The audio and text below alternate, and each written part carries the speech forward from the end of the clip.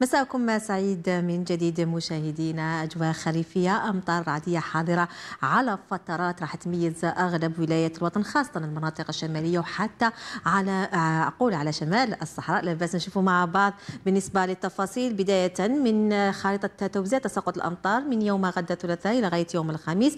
فيما يخص شمال البلاد تميز بتراكم بعض السحب خلال الصبيحة عبر مختلف المناطق الشمالية مع تسجيل بعض الزخات المطرية خاصة على المدن الداخلية الشرقية. والوسطى. هي نفس الوضعية الجوية إن شاء الله. مشاهدينا مرتقبة يومي الأربعاء وحتى الخميس زخات مطرية مرتقبة على فترات وتكون متفرقة. راح نسجلوها بغرب وسط وحتى شرق البلاد. لا بأس نشوفوا مع بعض بالنسبة للمناطق الجنوبية.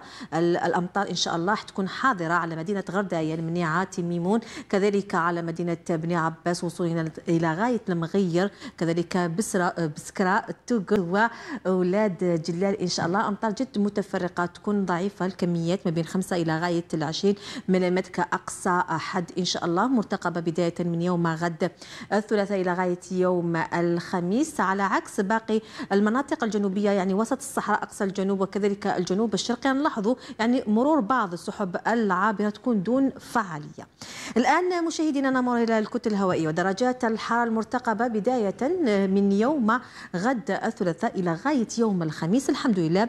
أجواء تبقى دائما نوعا ما باردة نسبيا خلال فترة الصباح وحتى الفترة الليلية. راح نسجل ما بين خمس درجات إلى غاية 10 درجات عبر مختلف المناطق الداخلية للبلاد. على كل من ولايات الجلفة تيات النعامة مشرية كذلك البيض سعيدة الجلفة عين دفلة لغوات حتى على قسنطينة صيف باتنا وميلا بالنسبة للسواحل الوطنية إن شاء الله حتكون كذلك أجواء باردة نسبيا ما بين حوالي 10 إلى غاية 13 درجة. جنوب البلاد يتأثر بالهواء البارد كما نلاحظوا في الصورة خاصة على شمال الصحراء وكذلك شمال مدينة بشار وصولا لغايه تندوف. أجواء باردة تكون إن شاء الله ما بين 10 إلى 11 درجة فقط. على عكس منطقة الواحات الجنوب الشرقي وأقصى الجنوب نوعا ما درجه حراره فصلية ما بين 15 إلى 20 درجة. وهذا خلال الفترة الصباحة وحتى الفترة الليلية. بالنسبة للظهيرة نلاحظوا درجة حرارة نوعا ما راح تكون فصلية ما بين حوالي 15 درجة.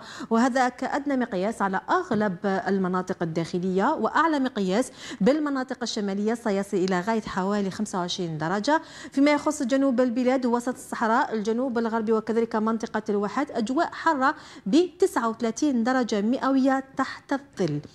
حالة البحر إن شاء الله. مشاهدينا بداية من يوم غد الثلاثاء إلى غاية يوم الخميس. نوعا ما بحر قليل الاضطراب إلى مضطرب محليا وهذا على طول الشريط الساحلي مع سرعة رياح تتراوح إن شاء الله ما بين حوالي 20 إلى 50 كم في الساعة. مشاهدينا بهذه التوقعات تصل لطي ورقة أحوال الطقس العودة إلى بلال. ستكون بعد الفصل